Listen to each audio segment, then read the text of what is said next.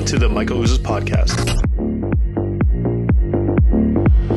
Welcome back to the Michael Ouzas podcast. Today we welcome Nick Crozier. Nick and I have actually known each other for many years. Back, uh, I was at a goalie school in Mississauga. Nick was a shooter, so we worked together many, many moons ago. It feels like now. Uh, graduated from York University in a degree in kinesiology. Just uh, uh we're very similar there, and he also played hockey growing up, uh, obviously as a shooter. Now, Nick is a super successful agent um, in the Greater Toronto area. He does extremely well, and his brand Crozier Realty, and he crushes it on all things, everything. So, welcome to the podcast, Nick Crozier. Appreciate it. Thanks for having me out here, man. Awesome, awesome. Thanks for that intro. Making me sound real good. yeah, well, I mean, you know what? Uh, Nick was one of the first people when I when I got into real estate. I reached out to him. We kind of reconnected after a few years of not uh, many years of not really talking, and um, I had I saw you on Instagram, and we reconnected again, and it was and you were a huge help for me in in getting things started. So. Um, I really appreciate that, and I kind of want to go back to the beginning. Like, obviously, you, you played hockey growing up. Like, Talk to yeah. me a little bit about hockey and your transition into school and, and like how you got into real estate.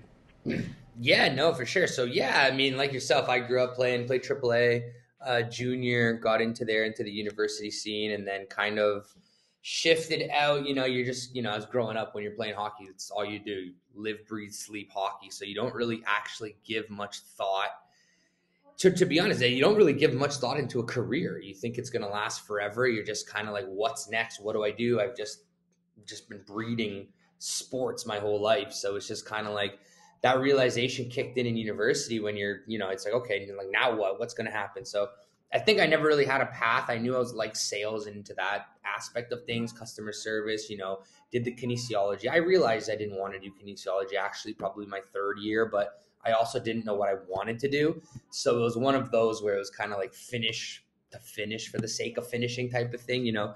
Um, I think it's one of those things, you know, whether you pick that up from playing sports or not all year, it's just kind of like that.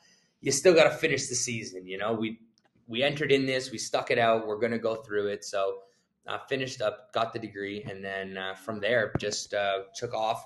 Uh, did some sales, bartended, did some sales jobs here there. Nothing crazy. Went down to Texas actually to do the firefighting. Thought that would be an avenue for me actually to do the firefighting.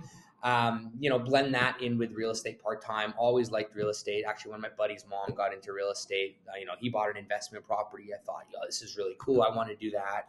Um, so I don't really have a family background in real estate. A lot of people ask. So it was just really my interest in sales, uh, learning about everything. Um, you know, a big eye opening moment for me was I kind of tell the story sometimes, but in the firefighting schooling and everything we are doing down there, coming from a university background and whatnot, I, I realized halfway through, and this was kind of something for my hockey career I kind of related to, where you know I was a decent player, had lots of skill, but I gave no effort outside of the rink. Like I'm talking, you know, summers I played soccer. I never like my parents are from the Caribbean, so I actually didn't know that you know while people are training in the summer i'm playing soccer i'm doing other things i wasn't even thinking hockey right it was just from a love of a game that I was able to have some skill and you know make it as far as I did.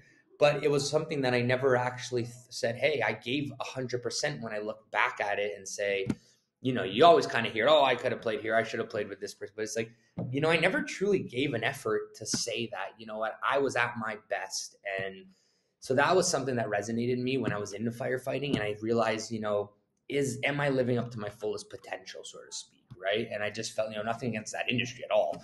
Uh, great, great life, great industry. I was going to do both, but you know, the more I learned about real estate, I realized, wow, like this is, I control my own destiny here. There's nobody that's stopping me. You know, uh, a big eye opener for me was kind of like when I was doing the testing. It really brought me back to those rookie camps, those back in the day when you're already on the team and it's like, oh, we have to go to these. All right, we'll go show up and play. And all these kids are paying to come play in this one weekend tournament. And you're like, the team's picked so the firefighting was very, very similar to that to me. And it just like, I don't know, that gut feeling in mine was just like, nah, this isn't for me. I'm not going to keep doing this. You're not taking the best person. You're not, you're filling a quota. You're, so it's like, you know what? I just don't want somebody else controlling my destiny. And I just said, you know, this real estate thing, what's the worst that can happen if I try my best for five years, 10 years, and I come up short, I can always go back. That was kind of my theory on it. Like I don't want to, I never believe in plan Bs, but yeah, on a grand scope, that's kind of what brought me to where I am today. Just a lot of reflecting actually from those uh, industries. That's amazing. And so, did you go right into real estate right away? Like, so you came back from Texas? So funny enough, like- so, so I'll never forget it. It was a Friday afternoon, and we were doing the math portion of our curriculum in Texas. And you know, nothing against the guys; they barely figured out half of the math. Like I ended up teaching half the course because I did, like I did university calculus, like I did and I'm not good. I barely pass those, but from basic, you know, it's a big difference. So I actually went home after school that day and applied to my real estate license to start the schooling while I was in Texas. So when I came back, I had the first course started as of January and I finished the semester there. So I literally like it was like honestly the TSN turning point and I just switched it that literally that afternoon that day. So it's kind of ironic how it all happened, but yeah, that was literally that day. I was like, no, this isn't for me. It's funny how that happens sometimes. It just something clicks and it's like, all right, this is what I want to do. Yeah, you know, it's like it's funny. I'm a big believer in the universe putting things out there and whatnot. And even going there, I was like delaying and delaying. I'm like, someone give me a sign. Is this for me? Am I? I want to speed this up. It was always about like I feel like I'm behind in life. You know, I got to speed up my career, get there faster because you know you come out of university a little bit later when you're playing hockey and sports and if you don't make it or do anything, then yeah, you are starting if you want to say a little bit later, but it's not late at all. I mean, I look back and I look back now, I'm like, shoot, I should have even waited longer and like enjoyed it more, like the rush to just work. You know, it's really funny when you when you hear it as a kid, don't rush to go work. They're telling the truth. yeah, it's it's funny you say that. Like everyone says says that when you're when you're playing, and it's like, you know, there's no hurry to retire because you can always like work after, you know, and work, and yeah. you don't really realize what that's like until like like you're a couple years into your job. You're like, all right, just keep Literally, going to work. And yeah. I think yeah, and I think the big the big thing in terms of mindset for like everybody, it's just kind of like you know you almost have to sit there and enjoy the moment you're in. Sometimes we're so caught up with what's around us and what's the next move that it really does go to show like man i mean i'm sure if you could go back 10 years you'd be like wow i really would have took in that big game, that championship, this, that win, that, you know, you really look back and you're like, wow, like that is when literally the only thing that mattered was winning the next hockey game. So you're kind of like, now it's like this client, that client, this price, this isn't happening. It's like, holy crap, this is what I was rushing for. it's so true. And um, I remember that, and I, I feel it now too in, in real estate. It's like, okay, you know, what's next? What's next? You're always in that yeah, mentality, you know, like the next big paycheck. Oh, I got, I hit this goal. Okay, how do I beat it now? It's like, man, just think about the goal you just hit. It's like a lot of the numbers we do in real estate are, are actually like very high, like you know, in certain cases. So it is like winning a championship or a big game. It's like sometimes we forget to enjoy the moment in a sense. Yeah, and, and also enjoy the moment with with clients who just you know maybe they've if you've yeah. lost out on a couple bidding wars or whatever, like someone just bought their dream home. Like yeah, it's, it's and, we, and we look at time, it, right? it. Yeah, exactly. We yeah. look at it because we do it and we take it for granted. All right, great. We all right, we want it. We tell our clients, great, cool, and then we're already thinking about deal two. It's like that was such a big deal for that client. Like they don't do this often, right? It's not yeah. as common for them to win these big deals. So yeah, it's definitely. Uh, definitely it's been an eye opener in that regard. Yeah, it's great. It's a good way of thinking too, and and try to make a point to make sure that you know, I want the clients to know that I'm obviously happy for them and like it's so huge yeah. and it's such a big deal. Oh, of course, everything's um, a big a big milestone yeah. for everybody, right? In their own way. Sure. I mean, we'll never enjoy it the same way they will. It's their home, but of course. Um, so let's talk real estate. So you got into real estate. So year one, what was that like? You know, you got your license. Yeah, Where did you where'd you go from there? Yeah, so year one, you know, hungry out of there. I'm like, I'm gonna make this something big. I, I you know, I've underdid a hockey career, blah, blah, blah. So I was kind of like, all right, find out who's doing what, who's making a lot of money. So that's pretty much what I did in my brokerage. Whoever made the most money went and talked to them right away. How are you doing it? What's going on? So, you know, I started to learn a little bit about the industry. I'm like, okay, like I don't know anybody. I started at 26.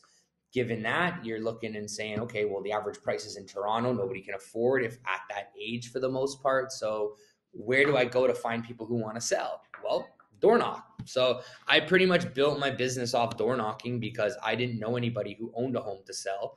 And I barely knew anybody that can afford to buy a home. So I literally just spent my days door knocking. I door knock newer areas, um, higher turnover, townhomes, smaller price points. I went to new neighborhoods. So I was living in Mississauga, but I would drive to Milton um, and I would door knock Milton because the pocket in Milton was turning over. Like during busy, like every couple of weeks, I'm seeing in this little pocket, like homes are popping up for sale. So I'm like, hey, let's go door knocking, go at it. So I ended up getting about my first year, year and a bit, almost 11 listing appointments, and I probably only converted three. So I realized obviously there's a conversion problem, and you know, you see it, you're like, oh, I was so good. Then you see that the person listed it at a higher price than you said, or the strategy you told them that wouldn't work worked, or you know, you just sucked in presentations and you don't know. So through that, I was able to really know like I'm getting stuff, but I need to fine tune this. How do I develop? How do I build? So you know, like anything, I had a bunch of buddies that were all your Bay Street finance guys and whatnot. And I all, and I watched as they were growing and, and moving up. You know, they really grinded out the first five, six years where they're slaving away doing garbage work for garbage pay, but they're going to get their school paid for. That pay raise after five years is a huge jump. And one thing in the industry I've noticed is everyone always talks about like your 10 year marker. If you can make it to 10 years, you'll never look back because at that point you've accumulated almost two different cycles of buyers from mortgage terms. And if you just keep up and you're competent, you should be able to keep a business running, right?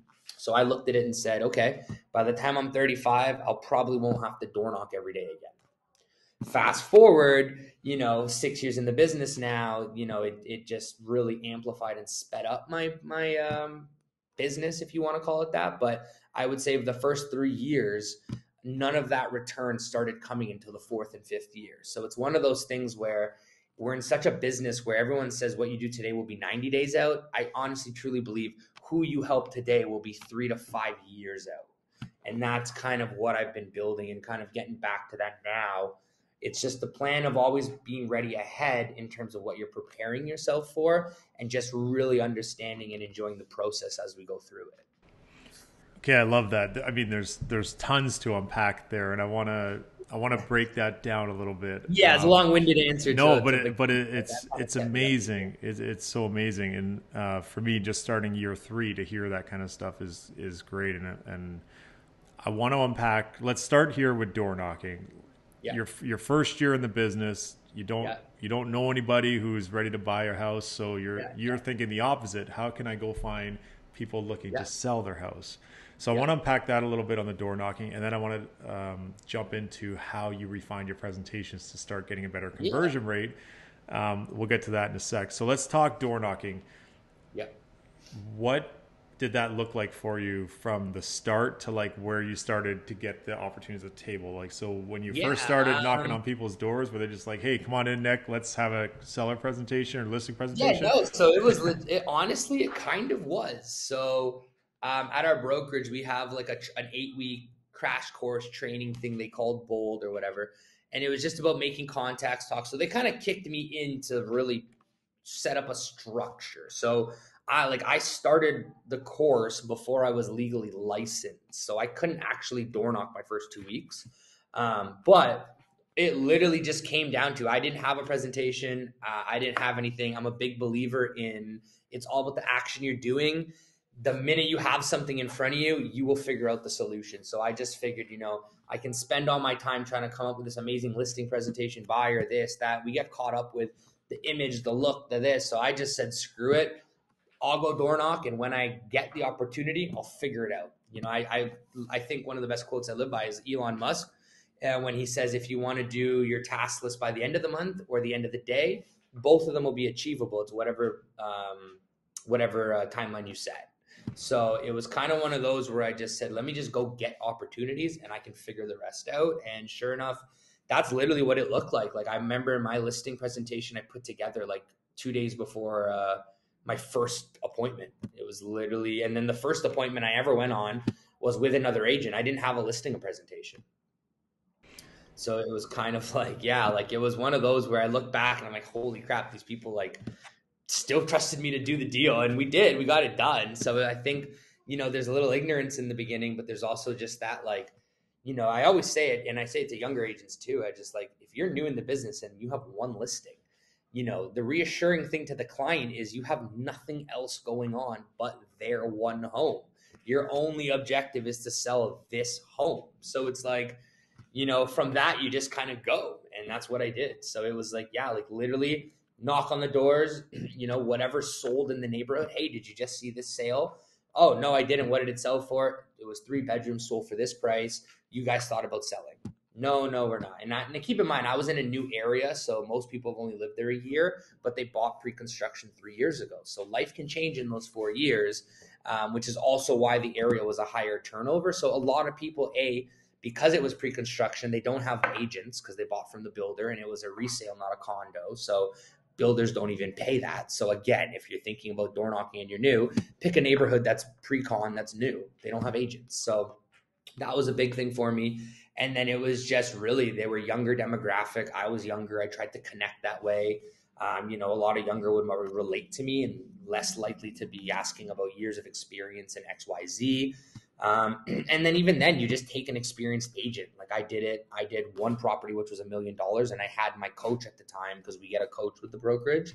She came with me and helped me through the listing. So it was one of those where I think everyone's very caught up on the money aspect, but in your first couple of years, if you're just willing to learn, I think you will propel yourself so much further ahead. Like I can tell you, when I left the team, I went so much further ahead because of all the learning I learned, and you don't realize it. So, I just want to, yeah, okay. Well, let's continue to break this down. This is great. Um, when you were door knocking, just to kind of yeah. pull that in 360, like did you show up? Did you have anything to hand out to them? You said, "Hey, you know, the property just sold, Not three bedroom, three bath." No.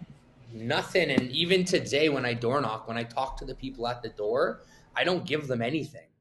It's actually the the stuff I leave behind is honestly, it's a mixture of me feeling good that I'm leaving a flyer on the door, but like for the most part, other than actually during COVID, most of those just sold flyer signs or whatnot they really don't have much of a hit rate. I can honestly say it's the impact of when you're in front of them at the door and you talk to the person. You're speaking the information, and the purpose is to gain the information. So you give them the info, they give you theirs.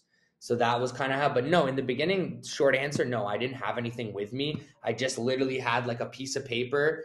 I just TREB stats like that and just told me what the recent sales were. And I would literally make notes on the paper with whoever would give me their information and you know from that i just started building a database and you know most of your door knocking and that's the thing with our business most people you meet your clientele everything you do is not going to happen today so it was very there was maybe out of all the door knocks maybe three people one was literally like we were interviewing agents this weekend sure come in for an interview so that was like the one rare one and there was maybe one more that was like wow, you literally got us. Like we just started talking about it. But other than that, most of the time you're following up, following up. So like all the door knocking I did for the first six, seven months of my real estate career, I lost all the appointments and stuff the following year from all, but it was all follow up, right? So it's like you get the opportunity though.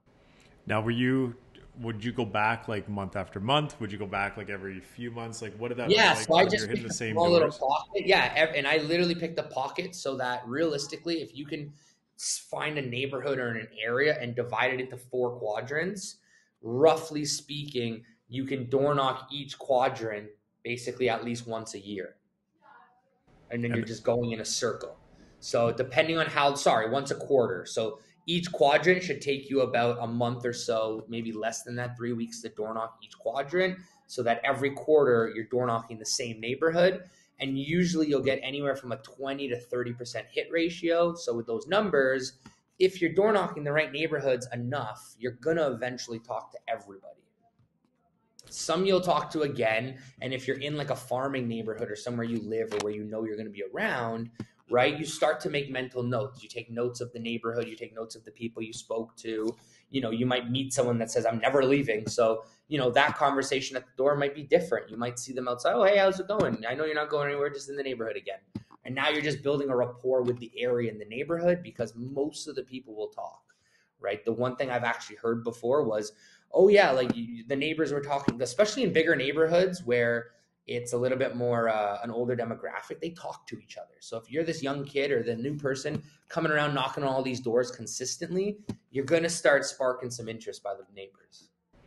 Yeah, it's cool. I, I like that concept a lot. Dividing it up by quadrants. It, it also makes it less daunting, right? You look at a whole. Yeah, you look at a big neighborhood, you're like, holy, 6,000 homes. How the hell am I going to do this? But then you break it down to like two each quarter. You're like, oh, this isn't that bad. And then it just becomes in your schedule. Like, it's engraved. Like, literally this morning, 10 o'clock to 11, I was door knocking. Like, do you have any. Do you have certain uh, certain hours that you find you've had more success in? I used to. Again, I can argue it till I'm blue in my face, and my broker will always challenge me. But on average, you'll get about 30% of the people home, no matter what time of the day it is. I find since COVID, the numbers have actually increased in the morning because more people are working from home. Whereas I found before, you probably like, again, it comes down to price point because you can get more people in the afternoon in certain areas. But again, they're busy, their kids are back from school, they're making dinner. So it's, your conversation may not be as great, but again, you're quick at the door. It's not about me talking to you, getting to know you. It's do you want to sell right now? Yes or no? No, great. Have a nice day. Have you thought about it? And it just depends on the neighborhood you're talking to. Like the one thing with door knocking, you have to understand your demographic, who you're talking to. And if you're going to go to the door, you know, bring something of value to the door. If you're going to be in an older neighborhood, okay, well, understand who are you talking to?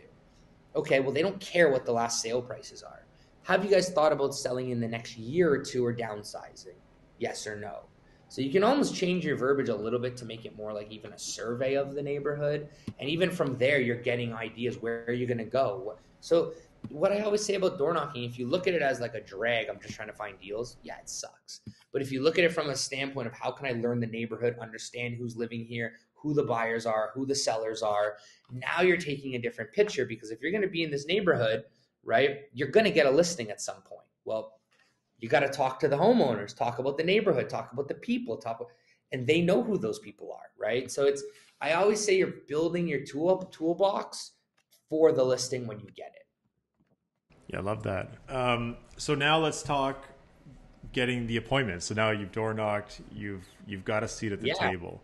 Uh, where did that start for you? You said you went out, you ended up with honestly 11 at bats. I call it like you know if you're going to bat eleven yeah. times and you're you know you're getting three listings, like that's a pretty good percentage, honestly. In your first year, I would say that's fantastic.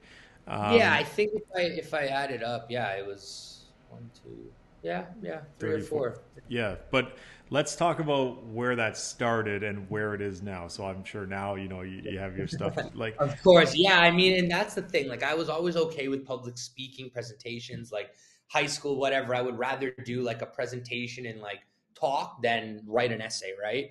Um, so I mean, in terms of people skills, speaking, I was always okay. You know, bartending definitely helped out a lot with that customer service aspect, and you know, the client comes first, that win-win attitude. So I think that aspect of things was great. It was the knowledge of understanding the presentation, the sales part, the you know how to speak about commissions, how to talk about objections, and the handling and the scripting that is where it really became something to me where it's like, you know, it really is important to understand that. And that's kind of where I started to realize, okay, I need more at bats, like you said, so that I can learn how to talk. So that was when I really started to look into how to join a team.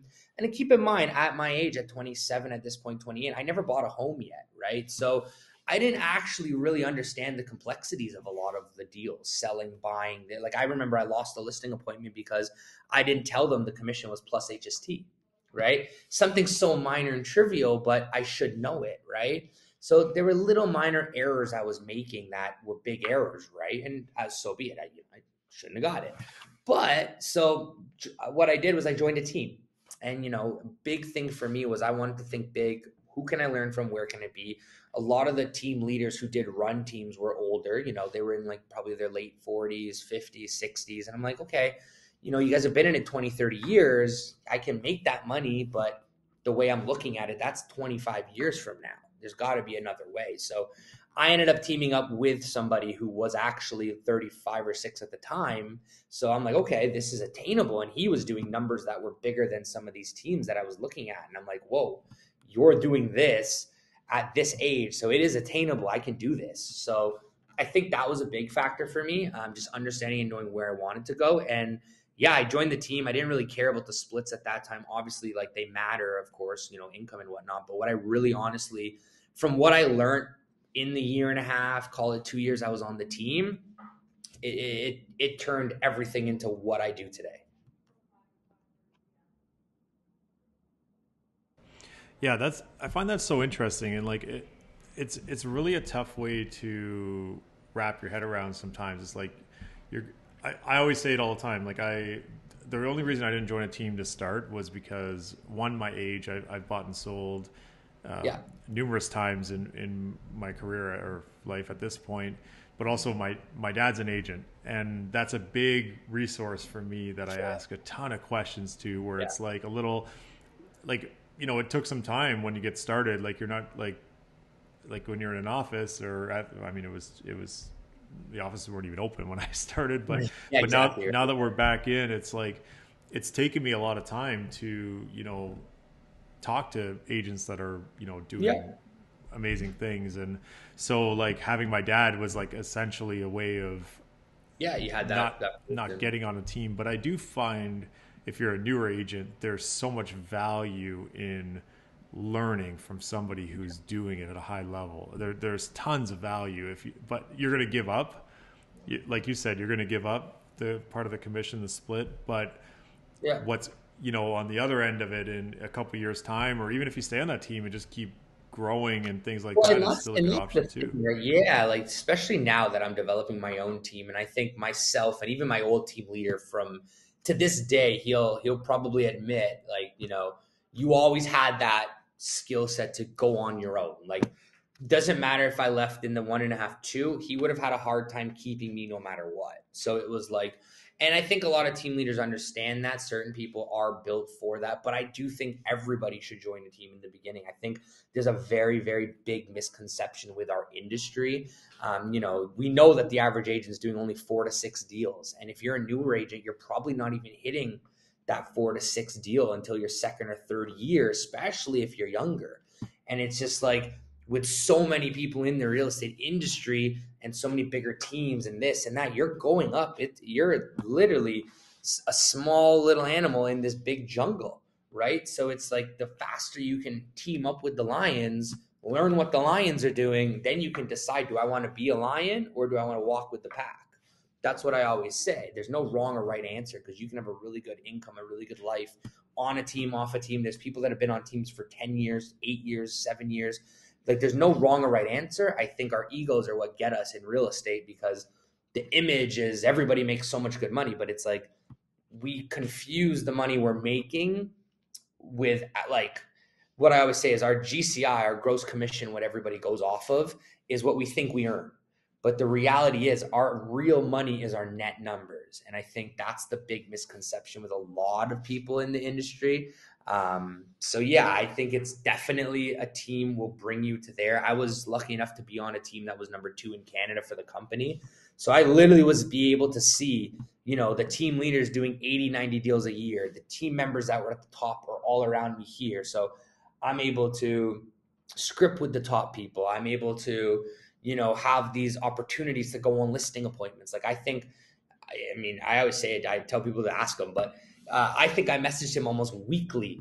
Which listing appointment do you have? Can I come on it? Which ones can I come on? If he didn't have any, I next person in line, next person, and I literally made it a point to go on every single listing appointment I could. I'll tell the story today where I had an investment seminar that he was putting together for a group of families from his from his kid's school. I drove to Guelph at 9 p.m. to sit there for two hours to listen to them talk. I had no skin in the game. I don't even know if those people bought investment but it just being there was so valuable and understanding and learning. Um, but I also made it a point to take everything I could from this team, right? Not from rip-off standpoint, but I want to learn what do the admins do? What does the operations manager do? What does it mean to be an operations manager? What do your roles look like? What's this cost, that cost? So I really made it a point to try to dig in and learn everything that I could. Yeah, that makes sense too, and I, I, do think that there is a, like you said, there there's a certain type of person too. Like you know you, and I'm sure you being on that team, and and I would I would think of this at some point too, is like you, when you're going to hire someone, you know, with that kind of mentality, you probably know that they're going to be time limited on what they're going to, yeah. going to contribute to your team. Like you, if you hired yourself, right? Like yeah. let's say you're about to hire yeah. yourself, and uh, someone came to interview, you're like, I see this kid in me, yeah, and you're like, he's going to be with me for two years. I'm going to work with him, help him, teach him everything. He's going to really propel my business in those two years. But I know he's going to leave me. Yeah, and I think that's where I also right? have been able to build. So that was a massive question that always lingered in my head.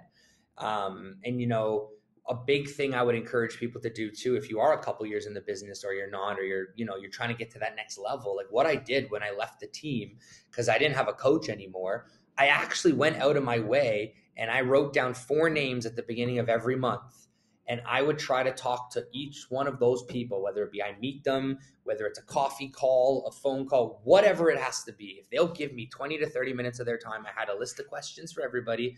And I just made it a point. And honestly, that is what has really, really developed me into how I built my team and the structure and the foundation from it.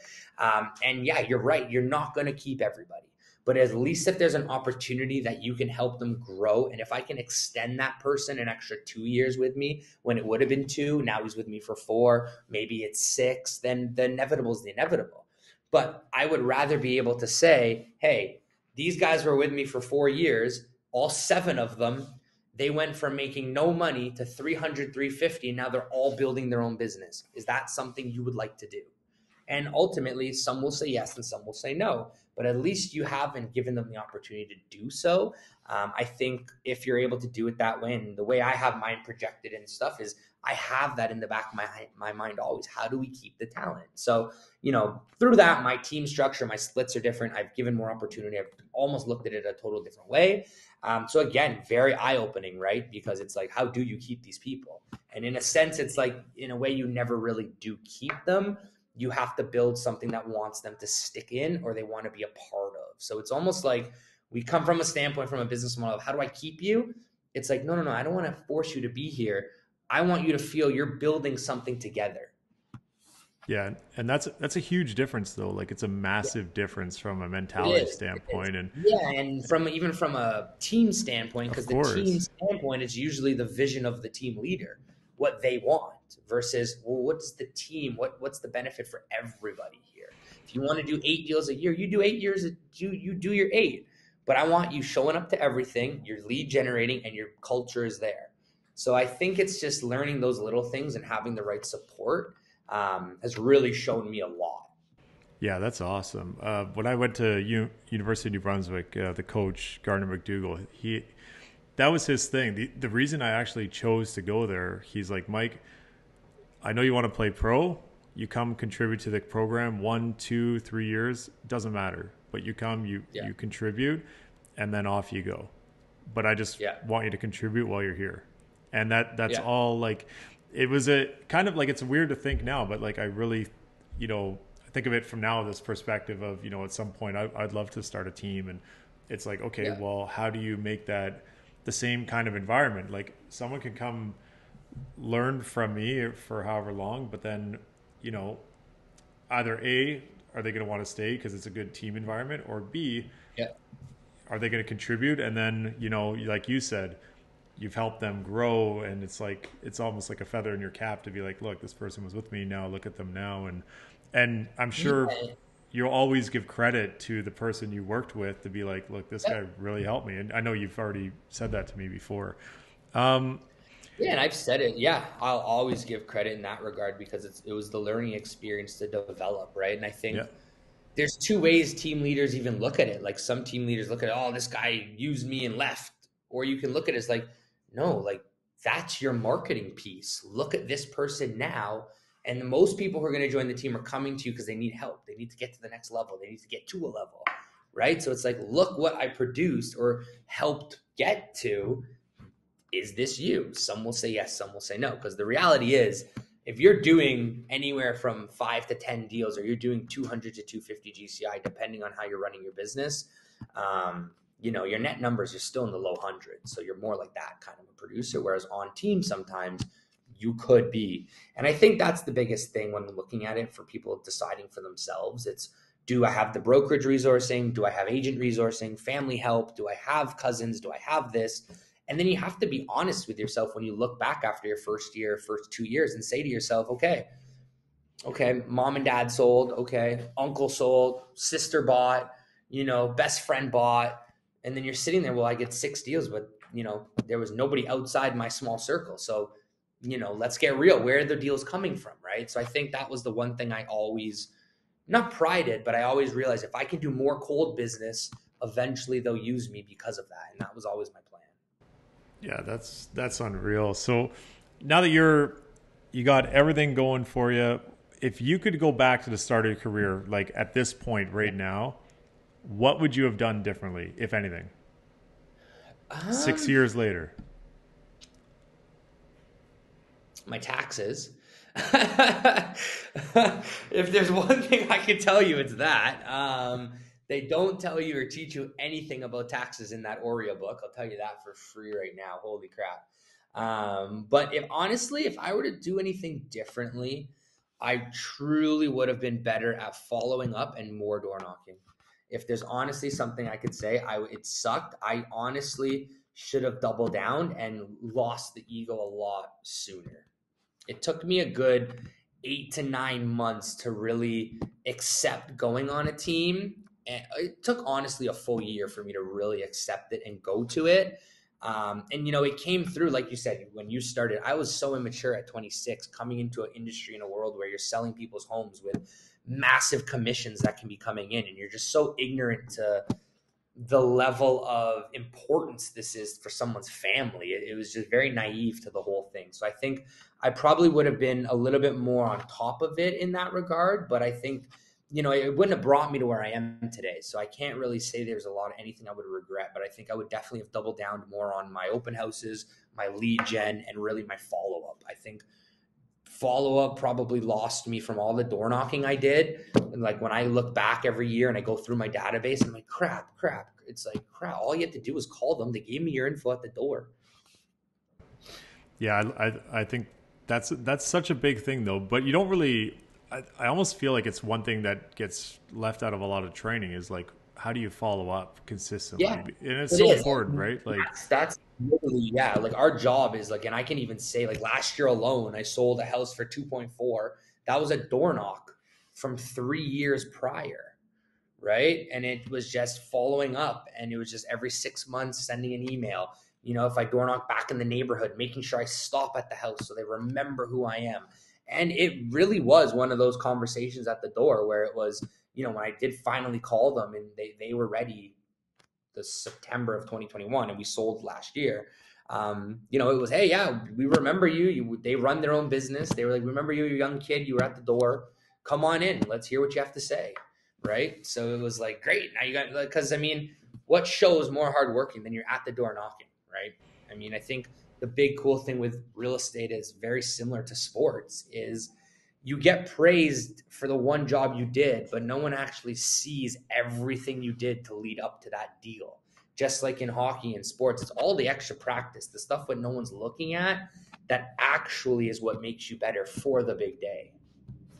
100%. That's one that's one thing that I think especially anytime anyone relates hockey to real estate and I've, I've said this a million times, but it's the same it's the same uh, sport, different business. It's exactly yeah. the same. Um, look, but, honestly, if you look at any business, whether you're in real estate, mortgages, lawn care, it doesn't really matter. If you're in a self-employed business, if you take a Kobe or a mentality, a Gretz, you name it, take a Kobe mentality, any sport, you will succeed. it's just time in it. That's really all it is. Yeah, and it's it's not also it's also not like about someone someone asked me like when I was first starting, like, oh, like you used to be a hockey player, like you're gonna be so competitive, like it's good, you're so competitive. I'm like, honestly, nothing will make me ever like I will never find that competition level of like no. find like trying to stop that little hockey puck. But the back end stuff of the discipline that it takes to just, you know, be a player and show up every single day and the games are the smallest portion of what we actually Yeah. do on a year to year basis. And I, I, I relate it so much to like when, you know, a game in, not a game, but like in the same kind of thing, like, you know, if the Leafs are playing, it's like you see the game, but in, in real estate, like it's an offer night or it's a, you know, you're presenting an offer or something like that. That's like the, the parts that you prepare for as you're Yeah, doing all the other stuff along the to way. be honest, listing presentation of I want to sell my house, that is game seven. So everything that I'm doing is for game seven right now. And if I get it, all right, we made the playoffs. Now we got a series. We still got to sell the home. Right. And I think there's a big, big misconception, especially when you're young, where you think like, oh, you're bringing all this value to people. And I find it a lot when you're like, I don't want to join a team or this. It kind of goes back to that. And it's like, take it back. Like, you know, they don't throw the goalie in net for game six that's been in the AHL or here. He doesn't know what's going on. He doesn't know what's going on on the ice. He doesn't know the full play happening. Doesn't know what's going to power play show. You know what I mean? There's so many elements that go on behind the scenes that they don't know. Right. And I always say this too. It's not always because, you know, you get some agents that are like, can you come on a listing and help me? It's like, I can come, but okay, but I don't just want the listing presentation. It's like, but you're not understanding. The listing presentation has so much involved in the behind and what has to happen after that if you just want someone to walk in the door and get you a listing you're going to end up losing the game still because there's so much more to it. And i think that's the big part that nobody realizes and that comes down to doing the boring stuff we don't like doing the door knocking the cold calling the lead gen the practicing your listing presentation the scripting how you're going to say things. Like those are actually the things that actually make our business and make our dream happen, if you want to call it that. I don't know if dream's the right word, but business. Yeah, definitely, and I, and also being on the ground with with Yeah. clients and knowing what's happening in the pulse of the market, and Yeah. even being in the office, you you get a pulse of what's going on in the market. Like it's it's exactly. You super hear the different important. market, what happened here? This condo had this many offers. That okay? Now I can talk to my clients this way. Like, there's so much that encompasses this industry that nobody teaches you or tells you about. So, yeah, it's just one of those where I, there's just so much value from it. Yeah, love that. Um, what are your thoughts on the market right now? I mean, we're we're third week of April right now, uh, 2023. What are your thoughts? What do you think? What what do you think is coming you know, it's of right now? What's funny. com- yeah, what's coming? Honestly, uh, you know, I don't know what's going to happen in this spring market's going to heat up. It's funny because I had a content video that I'm going to post because I filmed it in March, and what I talked about in March is happening right now. So it was interesting. It's very reflective of 2017 to me right now, where there was this little, there's a big jump into the fall of 16 into January, February. We didn't have it this year because that all skipped, but there's a quick quick, quick little April, May jump, offer bidding, bidding, bidding, and then all of a sudden flat plateau for the summer. I don't know if that will happen. I don't mean flat in pricing. I just mean you're going to see a lot more inventory come on the market. I don't think you're going to see as many bidding wars happening and things going on come July, August. I think the market is just in a quick little honestly, it's a quick little trampoline jump right now, and then I think it's going to slow. Um, you know, funny enough, I was looking up the stats today, actually, literally like an hour before we jumped on. Um, you know, an interesting thing I saw was from now we were looking at showings, and I'll keep it quick because it gets boring. But long story short, sixty percent of the showings have we've seen a sixty percent increase in showings since February. And on average, right now, March and April, since last April, we have seen um, on average last April there was about twenty thousand showings in the Toronto real estate board on Toronto. This April, fifty thousand. So we have seen now showings almost double, and in March we saw forty five as the average number. So what's and then when we had February, January, 26, 25. So what is that telling you? The buyers are all coming and flooding the market right now. We don't know how long they'll be here for, but they're going to be purchasing some stuff. Now, I don't think it's going to continue as crazy throughout the summer, but if you were to ask me in your next two months, three months, if you wanted to sell, I'd say sell. Yeah, that Moving into the fall next year when rates change, we don't know. There's too much going on in terms of the economic factors to really predict. But I think you're going to see more of a lull come August, September if you're looking to purchase. Um, but I wouldn't let that be a determinant because it's already going to jump up this spring. So you're purchasing at the jumped up price, right? So it's like people think, oh, I'll wait, I'll wait. It's like you can wait, but you might have more stability at a higher price point.